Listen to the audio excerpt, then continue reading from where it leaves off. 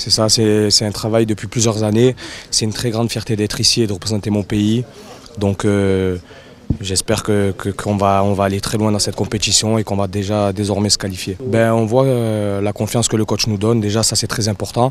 Et l'intégration dans ce groupe, euh, ça, tout, est, bien passé, donc impeccable.